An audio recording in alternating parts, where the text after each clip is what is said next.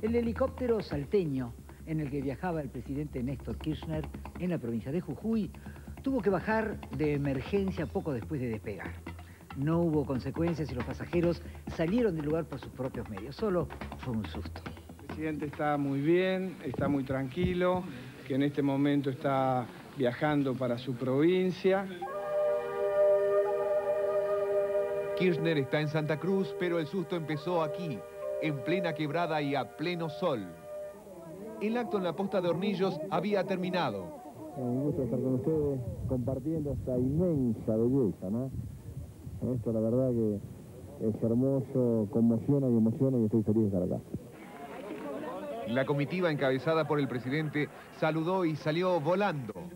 A bordo iban el piloto Alejandro Saglista, el presidente Kirchner, el expresidente Dualde, el gobernador jujeño Fellner, el diputado Camaño, el gobernador salteño Romero y el vocero Muñoz.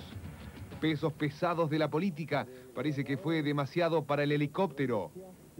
Enseguida el aparato perdió altura y el lecho seco del Río Grande se convirtió en una improvisada pista de aterrizaje.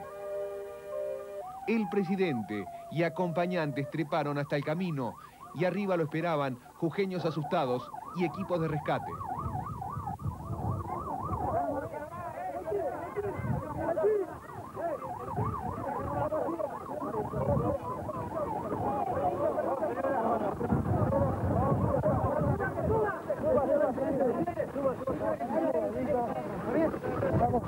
¿Está bien, presidente?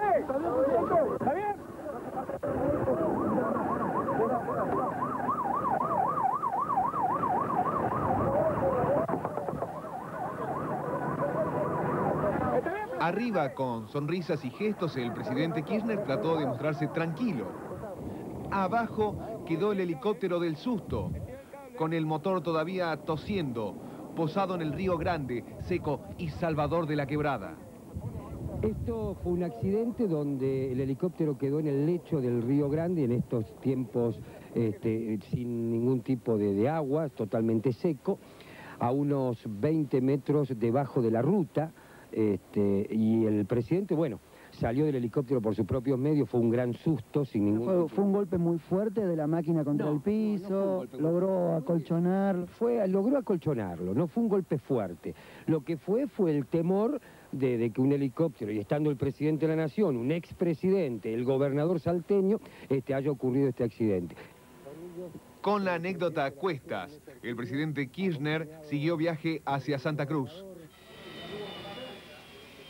Pero a Buenos Aires, en el más seguro Tango 01, llegaron entre otros el vicepresidente Scioli y el expresidente Dualde, entre risueños y algo blancos de la polvareda jujeña y el susto, claro.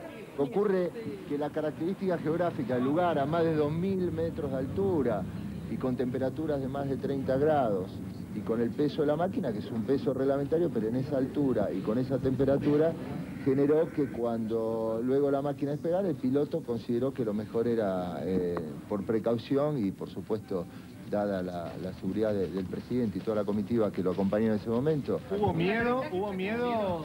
bueno, hubo mucha preocupación de todos los que estábamos en ese momento cerca de ese lugar porque por la confusión.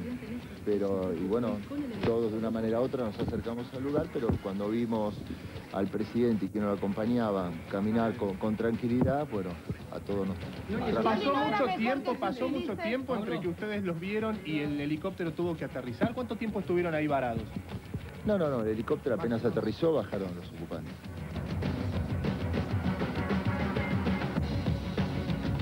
Sí, eh, solo se trató de un susto. Pero, ¿qué pasó en el helicóptero que trasladaba al presidente? ¿Por qué no pudo levantar vuelo? ¿Fue un problema mecánico o se trató de un error del piloto?